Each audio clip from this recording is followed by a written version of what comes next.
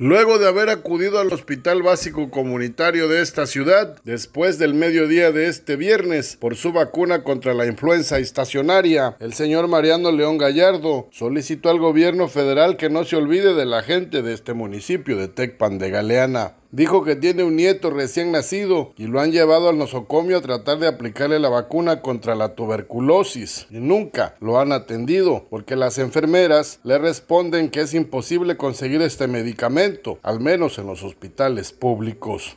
Sí, mira, tanto para el ciudadano presidente de la República como para el ciudadano gobernador del estado, la, solicitud es de que doten del medicamento adecuado y de las vacunas requeridas aquí al centro de salud de los diferentes municipios, porque según tengo entendido, también esto es una cuestión de varios municipios que no tienen la vacuna contra la tuberculosis. En mi caso personal tengo un nieto que tiene siete meses de nacido y siete meses que ha estado expuesto sin la vacuna cuando las autoridades dicen que todo eso nomás es cuestión de recurrir a los centros de salud. Pues bien, nosotros tenemos siete meses recurriendo al centro de salud que nos corresponde, de aquí de Tecpan, y no hay la vacuna. Por lo tanto, pues le, le pedimos pues que pongan atención en eso, porque no se trata ya de, de, de cuestiones ahí políticas ni de nada, eso, eso es cuestión de salud.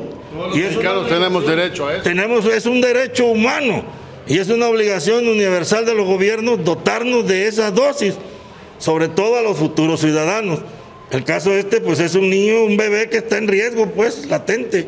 Bueno, pero se trata de que si dice que están quitando... El, Insabi, pues, que, que el Insabi va a venir a suplir todas las deficiencias bueno, entonces, entonces pues, este, ¿para qué pagamos con nuestros impuestos la estructura hospitalaria si no van a tener los servicios adecuados?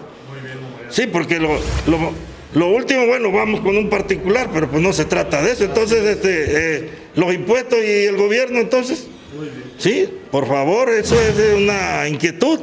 Y no es mía, es de varias gente, de la, toda la comunidad pidió a la Secretaría de Salud del Gobierno de la República que cumplan las promesas del presidente Andrés Manuel López Obrador en el sentido de que en México sí hay medicinas suficientes para dotar a los ciudadanos que tienen derecho a la salud pública.